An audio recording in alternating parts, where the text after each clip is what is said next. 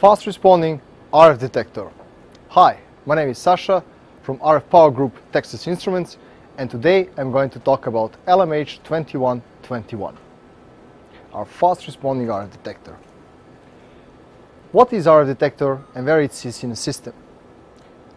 Here you will see typical block diagram of a transmit system and you see that 2121 sits right after power amplifier because you want to take a fraction of this signal and measure accurately the power that you are transmitting. Why is that important? Well, if you transmit more power than it's needed, then it's waste. It's heat, the power that is just burned, and you are interfering with your neighbors.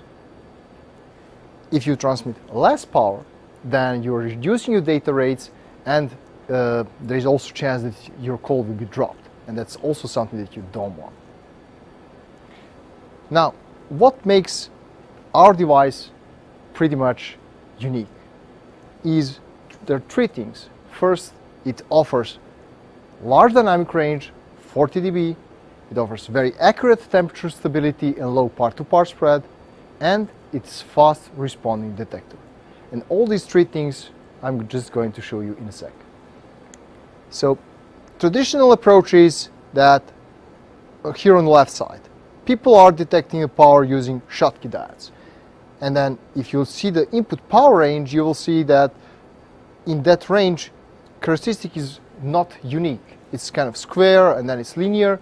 So you need to use lookup table to compensate for this non-unique or non-linear characteristics, plus the temperature variations. Now, using our part, LMH2121, then in a whole input power range, like from minus 20 or minus 25 dB all the way to plus 15, our characteristic is pretty much linear and it has very good temperature stability.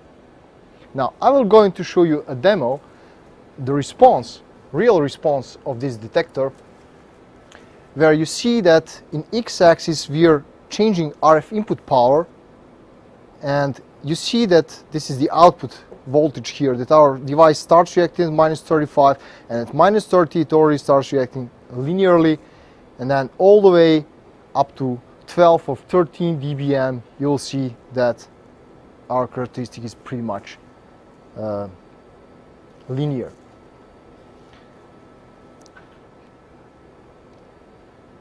Here on the, on the slide here, um, you, you, can see also temperature characteristics and for 900 megahertz and for 1900 megahertz you will see that almost in 30, 35 dB of dynamic range it's really flat temperature characteristic within plus minus 0.05 dB so very good temperature characteristic and here on this slide you're actually seeing statistics of 50 devices where you see that more than 35 dB of dynamic range we are uh, getting less than plus and minus 1 dB of temperature error, which is very good.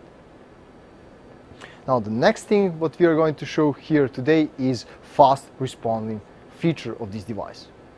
And for that I'll be back with you in just a second. For time domain measurements, we are moving to a oscilloscope. The output of LMH2121 is shown as a blue line. Yellow line is showing input RF signal to our device, and that is LTE12RB.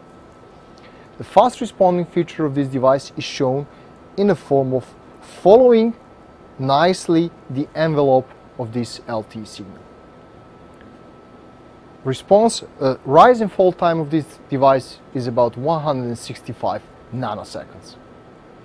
For more information about LMH2121 and our full RF power detector portfolio, please visit ti.com slash rfpower. Thank you very much.